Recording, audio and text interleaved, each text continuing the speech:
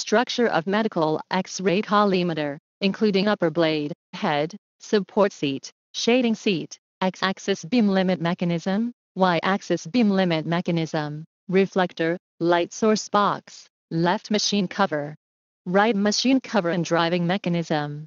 X-ray collimator collimator is designed with a double rocker bar to control the X-ray range. The first and second gears that are aligned with the driving gear are rotated to control the X-ray range.